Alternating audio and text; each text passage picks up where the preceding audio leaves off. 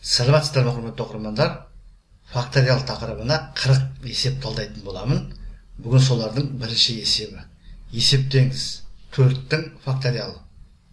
Сонымен есеп төрттің факториалын есептеу керек. Алдымен факториалдың не екенін еске түсірейік.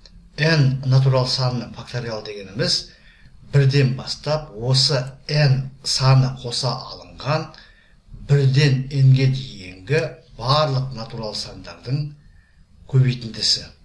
Сонымен n факториал дегеніміз бірден бастап n-ге дейінгі барлық натурал сандардың көбейтіндісі. N-нің өзі де кіреді. Яғни нәтижесі натурал сан болады деген сөз себебі натурал сандардың көбейтіндісі әр уақытта натурал сан болады. Сонымен n факториалдың яғни факториалдың анықтамасын қолданамыз.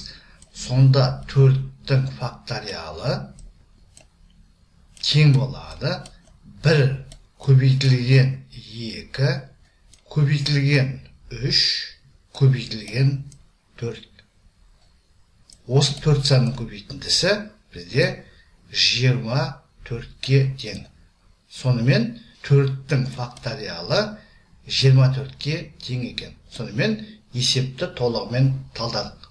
Жоғарыда атап өткенімдей факториал тақырыбына кемінде қырық есеп шығаратын боламын. Мен бүгін ең жеңілінен бастап шығарып отырмын.